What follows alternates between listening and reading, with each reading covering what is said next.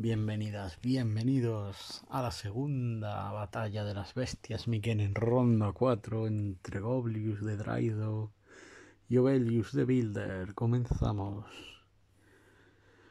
Goblius, la rana voladora, estira su lengua y electrifica a sus enemigos o les retiene. Lanza misiles de la espalda sacando un panel. Salta, vuela, lucha en tierra, es bastante completo.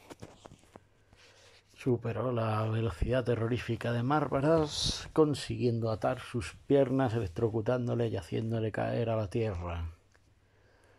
Una dura batalla contra Camarón. La bestia Camarón lanzó su misil. Goblus lo pudo esquivar y una lluvia de misiles acabó con él. Una durísima batalla contra el elefante triturador hizo a Goblius tirar de estrategia con las patas, con los misiles y destruyó sus patas, mientras caía, cogió con la lengua al jinete electrocutándolo su parte viva y acabó con él. Dragón Ovelius con su poderoso pico en un ataque giratorio está dando ventaja en sus batallas, lanza misiles del pecho y rayos por la boca también.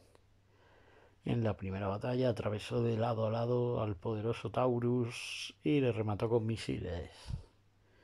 En la segunda batalla atravesó con su poderoso pico una vez más a los hermanos iguanas y le remató con un rayo.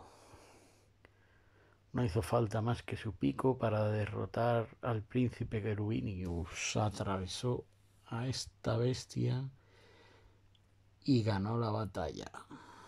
¿Cuál de estas dos terribles bestias, Mikene, sería la ganadora? Espero sus votos. Muchas gracias.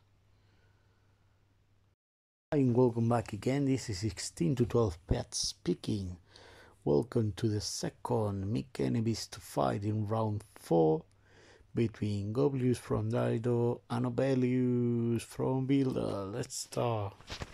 Goblius the frog fights on the ground, jumps and flies, uses his electric tongue to trap or attack his victims and missiles from his back.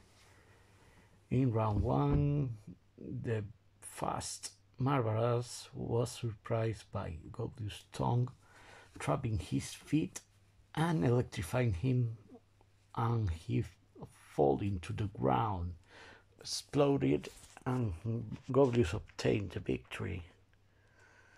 Goblius avoids Cameron's missiles and he throws continuous missiles to the pincer beast and make it explode. A very hard battle against the grinding uh, elephant uh, made Goblius take his strategy to beat him. He throws um, a rain of missiles onto his legs, make the elephant fall, and trap the rider, his living part, with his electric tongue. And that's how Goblius won the battle. Obelius the dragon throws missiles from his stomachs, laser rays from his beak, and attack in a circle way with that terrible peak, which is his main and most powerful weapon.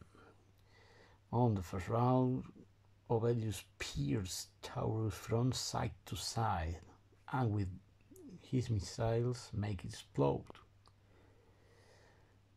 Obelius pierced both his Iguana's brothers in round two, and with the laser ray make them explode too. His pick was enough to pierce and kill the Prince Cherubinius in round three, so that's how Obelius won. Who of those two terrible beasts would be the winner? I'll wait for your votes. Thanks for watching.